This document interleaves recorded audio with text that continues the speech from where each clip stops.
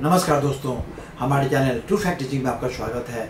आज का हमारा विषय है होम्योपैथिक मेडिसिन नेफ्थैलिन के सिम्टम सबसे पहले हम आपसे अनुरोध करेंगे कि कृपया आप हमारे चैनल को लाइक करें शेयर करें सब्सक्राइब करें बेल बटन दबाना नहीं भूलें, जिससे कि हमारा अगला वीडियो आपको निर्वाच से मिलता रहे। होम्योपैथिक मेडिसिन नेफ्थैलिन के सिम्टम नेफ्थैलिन औषधि आँखों के किसी भी रोग में बहुत अच्छा असर करती है। इसके अलावा सर्दी जुकाम, परागज बुखार, यानी हे फीवर फुफ्फुस क्षय और सुजाक रोग में औषधि बहुत लाभकारी साबित होती है।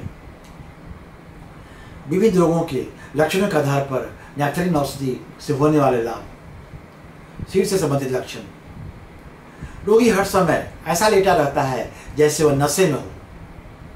हर समय रोगी को बेचैनी सा रहना चेहरे का बिल्कुल पीला और मुरझाया सा होना आदि लक्षणों में रोगी को नैप्थलिन औषधि देने से लाभ मिलता है खांसी से संबंधित लक्षण रोगी को बहुत तेज खांसी होने के कारण रात में नींद भी नहीं आ पाती और नींद आते ही रोगी को बहुत तेज खांसी और पसीना आता है बार बार छीको खाना आँखों में जलन होने के कारण सिर का गर्म होना छाती और अमाशय में दर्द का होना।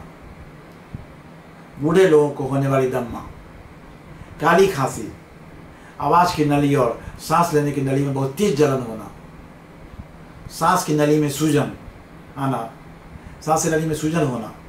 आदि लक्षणों के आधार पर रोगी को नेफ्थैलिन औषधि बहुत लाभकारी होता है। मूत्र, पेशाब से संबंधित लक्षण। रोगी को बार बार पेशाब आता रहता है। पेशाब का रंग बिल्कुल काला होना।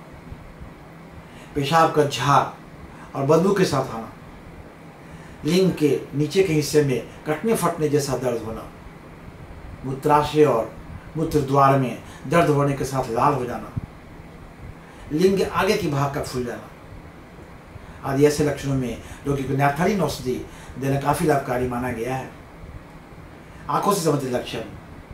दृष्टि पटल के ऊपर दाने से जलन सी होना। दृष्टि पटल के ऊपर धब्बों धब्बों में जमाव होना।